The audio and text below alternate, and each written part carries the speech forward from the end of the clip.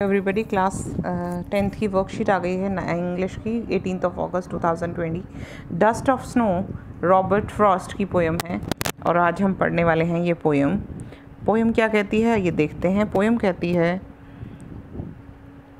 the way a crow shook down on me the dust of snow from the hemlock tree has given my heart a change of mood and same saved some part of a day I had rued तो यहाँ पर एक छोटी सी poem है और छोटी सी rhythm है। इसमें रॉबर्ट फ्रॉस्ट की एक सिंपल शॉर्ट पोएम है, लेकिन बहुत डीप मीनिंग है। पोइट एक्सप्लेन करता है कि कितना भी बुरा एक्सपीरियंस हो लेकिन थोड़ी सी स्नो मतलब थोड़ी सी सफ़ेद स्नो का थोड़ा सा हिस्सा आपके जीवन को लाइटन अप कर सकता है, आपकी ज़िंदगी को ब्राइटन अप कर सकता है। ठीक है? ये बात कहने के लिए पोएम कहता है पोएम एक सीन दिखाती है आपको, जहाँ पर पोएट एक बैड मूड में है, एक ट्री के पास से गुज़र रहा है, जो कि एक हेमलॉक ट्री है। हेमलॉक ट्री क्या होता है? जहरीला पेड़ होता है बेटा। Hemlock tree is a poisonous poisonous tree है पॉइजनस ट्री के पास से गुज़र रहा है, जहरीला पेड़ है, उसके पास से गुज़र रहा है। जब पास से गुज़रता है तो एक क्रो जो थोड़ी सी स्नो डस्ट क्योंकि वो ऐसे हिलता है तो वो थोड़ी सी स्नो डाल देता है, और जब वो स्नो गिरती है पोएट के शोल्डर पे, उसके सर पे तो उसको एक स्पेसिफिक मेंशन नहीं देता है, लेकिन वो बर्ड्स का स्पेसिफिक एक्शन ज़रूर दिखा रहा है कि वो हिलता है। ये नहीं पता चल रहा कि वो बर्ड कर क्या रहा है, लेकिन उससे ये पता चलता है कि वो जो थोड़ी सी स्नो है, वो उसके ऊपर गिरा देता है, किसके ऊपर? पोएट के ऊपर, जो वहाँ से गुज़र रहा है। बहुत सारे रीजंस थे जिसके कारण क्या होता है उसका has given my heart a change of mood यहाँ पर। कुछ ऐसा हुआ होगा पोइट के साथ कि उसका दिन बहुत ही बुरा गुजरा था, और उसने पूरा दिन बड़े बुरे मूड में वो दिन गुजारा था। लेकिन अब क्या हुआ, जब वो थोड़ी सी स्नो गिरती है तो वो कहता है कि अब मेरा बाकी का दिन जो है, वो बच गया। जनरली क्या होता है हेमलॉक ट्री और क्रो ये सब नेगेटिव सेंस में यूज़ किया जाता है है ना? हेमलॉक जहरीला पेड़ है क्रो बोलता हुआ भी अच्छा नहीं माना जाता नेगेटिव रेफरेंसेस हैं। लेकिन पोएट बहुत ब्यूटिफुली इन इन ऑस्पिसिस थिंग को, यानी अशुभ चीज़ों को पॉजिटिव तरीके से दिखाने की कोशिश करता है। तो कहता है कि नेचर किसी भी तरीके से हमें कुछ भी देने की कोशिश करती है तो वो बुरा नहीं होता है। हमें बहुत जेनरसली बहुत ही ध्यान से उस चीज़ को ले लेना चाहिए। खुद को, खुद के ऊपर एक्सेप्ट कर लेना चाहिए। मैं आपको इस पोएम की समरी लिखवाती हूँ ताकि आप लोगों को ये पोएम क्लियर हो जाए, क्योंकि समरी लिखना इज़ वेरी इंपॉर्टेंट नहीं लिखते हैं आप समरी फिर आपको पोएम पूरे साल, पूरा सीज़न आपको समझ नहीं आती है पोएम थी क्या? और पोएम की समरी लिखने से आपको एक और चीज़ होती है पोएम का कोई भी क्वेश्चन अगर आपको लर्न नहीं करना चाहते तो आप समरी याद कर लीजिए। अगर आपको समरी याद है तो आपको सारे क्वेश्चन याद हैं। चलिए शुरू करते हैं समरी लिखना शुरू करते हैं। चलिए बच्चा पोएम लिखते हैं।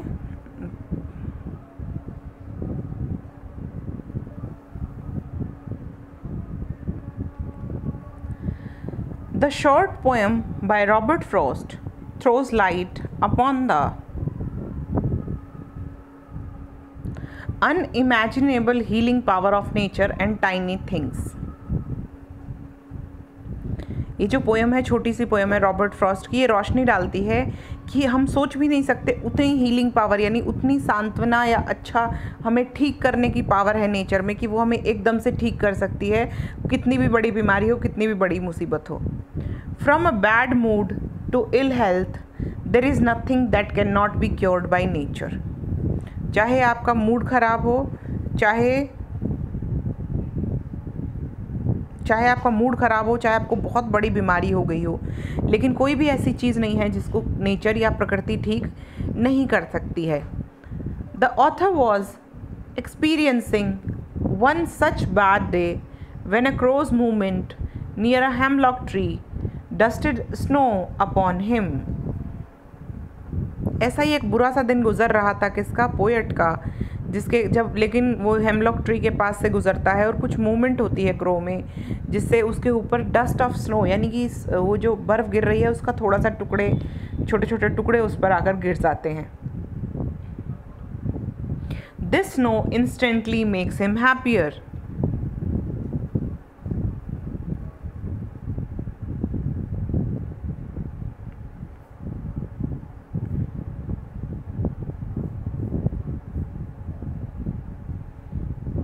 इस बर्फ़ से एकदम से जो वो पोएट है वो खुश हो जाता है।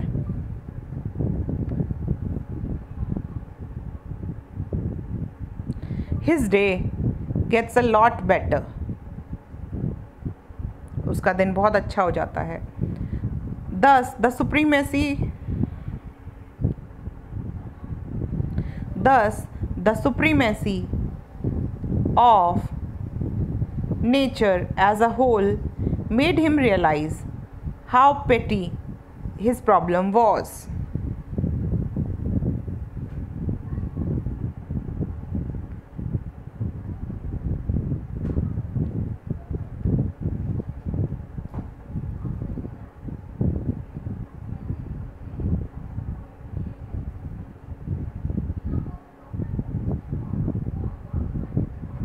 उसको रियलाइज़ होता है कि उसकी जो प्रॉब्लम थी वो कितनी छोटी थी।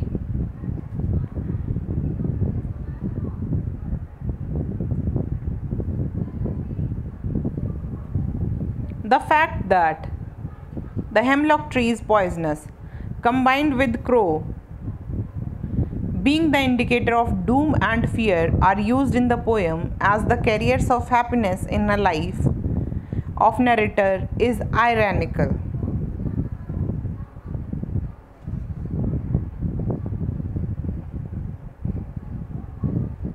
देखिए, जो ड्रूम बिल्कुल फियर एकदम गलत होते हैं ना, अपशगुन की निशानी होता है हेमलॉक ट्री क्रो इन सब चीज़ों का इस्तेमाल करते हुए नरेटर आपको किस चीज़ के बारे में दिखा रहा है? नेचर की उम्मीद के बारे में दिखा रहा है। कितना आयरनिकल है, कितना सटायरिकल है ये चीज़ कि उन्होंने एक बिल्कुल अपोजिट चीज़ से, बिल्कुल अपोजिट फीलिंग को डेवलप करने की कोशिश करता है poet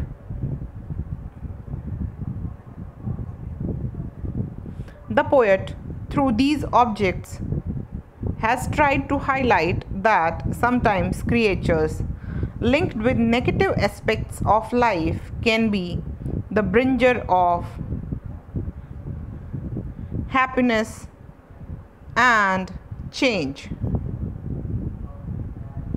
Being outdoors in nature with all its unpredictability can benefit anyone, anywhere in time.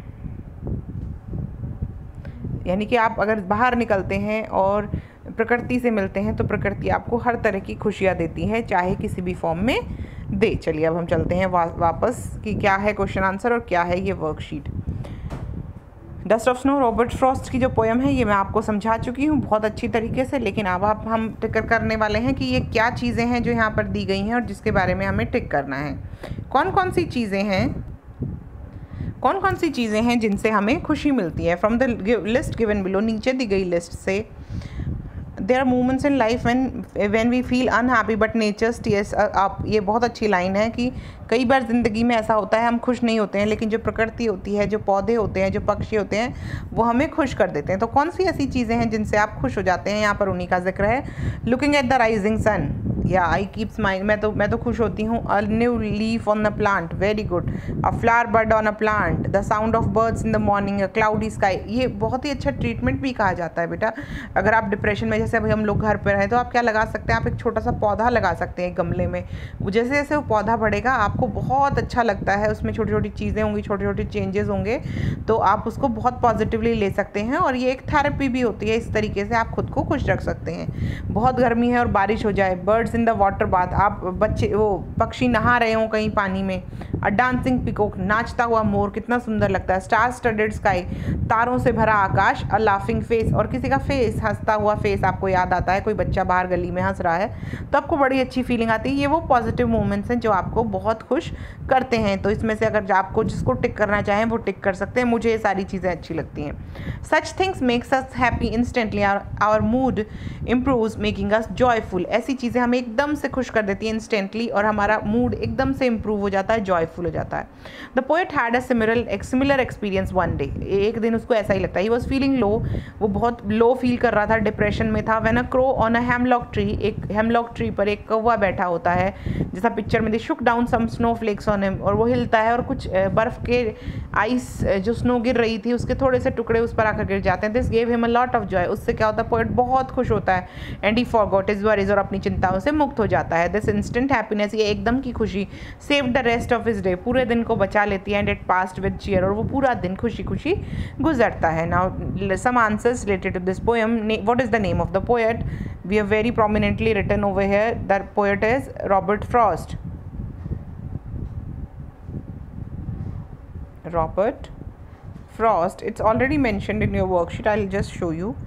देखिए बच्चे, यहाँ लिखा है poem by dust of snow है आपकी पोएम का नाम और रॉबर्ट फ्रॉस्ट है आपके पोएट का नाम। आई होप इट्स क्लियर चलिए आगे चलते हैं। नेक्स्ट कहता है what happen due to presence of a crow on a tree tick the correct क्या होता है ट्री से?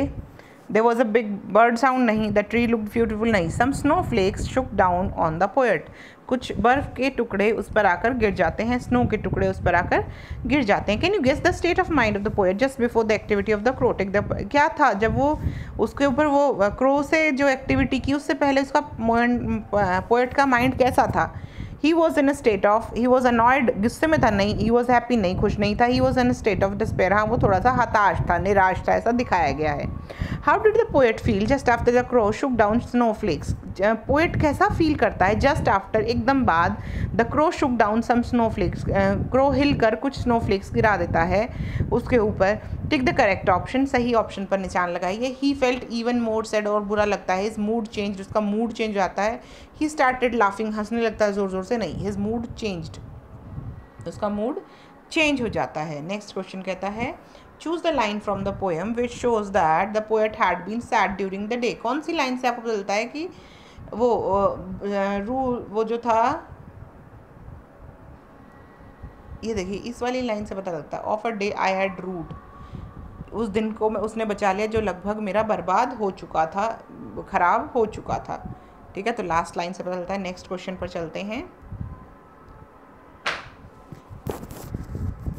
What is the correct rhyme scheme used by the poet tick the correct option चलिए चलते हैं, एक बार राइम स्कीम देखें बच्चे। देखिए राइम स्कीम देखते हैं। Crow A crow A me B snow A tree B फिर देखिए hurt C mood part A B C D A B A B C D C D ठीक है बच्चे? तो कौन सी लिखें? ए बी ए बी लिखेंगे क्योंकि अलग पैराग्राफ की अलग होती तो ये होगी A B A B rhyme scheme हो जाएगी। Nature can give us a lot of happiness when we are feeling low हमें जब लो फील होता है right about one such experience of life briefly कई बार ज़िंदगी में हमें बहुत सारी खुशियाँ मिलती हैं जब हम लोग एकदम उदास हो जाते हैं तो हम लोगों को नेचर दिखाई देती है और नेचर से हम खुश हो जाते हैं। Examine what made you feel sad and how nature give you happiness और कोई ऐसा इंसिडेंट बताइए, जब आपको एकदम से नेचर ने खुश कर दिया हो, ऐसा कोई इंसिडेंट आपको लिखना है this you are suppose to mention तो आप ऐसे शुरू करते हैं you may begin like this कैसे शुरू करेंगे? I was not in a good mood that day because मैं उस दिन अच्छे मूड में नहीं था, क्योंकि, चलिए शुरू करते हैं, लिखते हैं थोड़ा सा।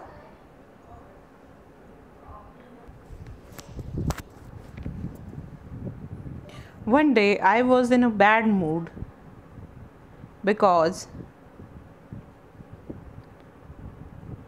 it has been long.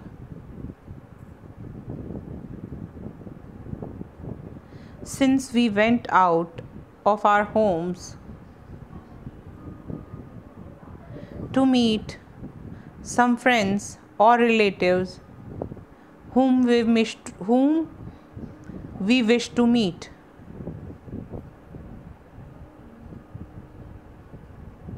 जिनको हम मिलना चाहते हैं मिस करते हैं, उनसे मिलना चाहते हैं, इसलिए मैं बड़े बैड मूड में थी। Due to COVID nineteen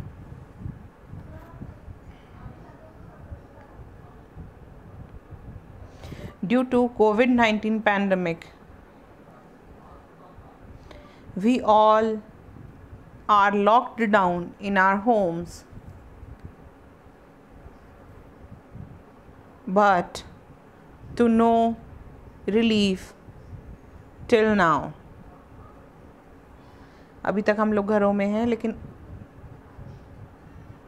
अभी तक कोई भी रिलीफ नहीं मिला है, कोई ऐसी खुशखबरी नहीं आई है जिससे कि हम लोग घर से बाहर जा सकें। तो इसलिए मैं बहुत परेशान थी। I went to the roof and it was a hot day. But suddenly, very cool breeze started. The breeze was very soothing. Along with came drizzling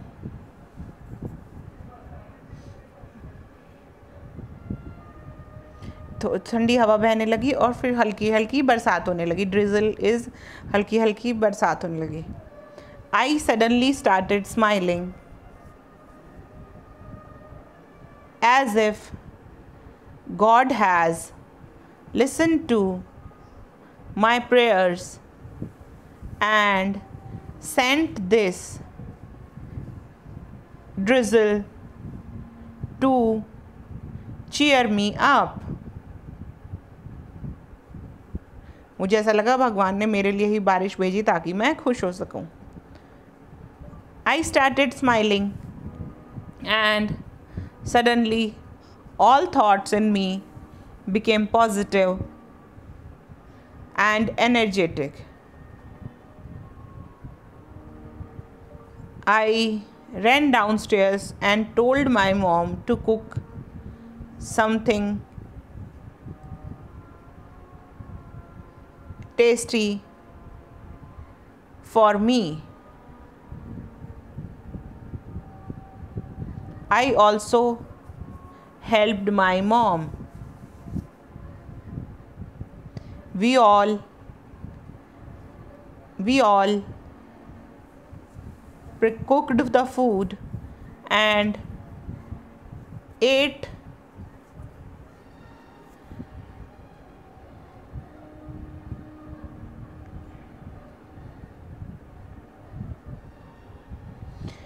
we all cooked together and then sat on the roof to eat together.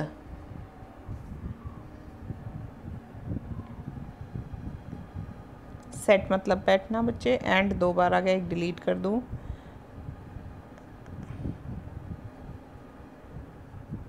Cooked हम सबने बनाया मिलकर और फिर ऊपर छत पर जाकर खाया। देखिए छोटा सा इंसिडेंट हमने लिखाने की कोशिश करी। आप कोई भी चीज़ देखकर खुश हो सकते हैं। आप कोई पौधा देखकर खुश हो सकते हैं। आप कोई नाचता हुआ मोर देखकर खुश हो सकते हैं। हमारी प्रकृति ने हमें इतनी सारी चीज़ें दी हैं जिसके द्वारा हम आराम से खुश हो सकते हैं। I hope you are able to understand the worksheet और कल मिलते हैं नई वर्कशीट के साथ। तब तक bye take care keep smiling keep rocking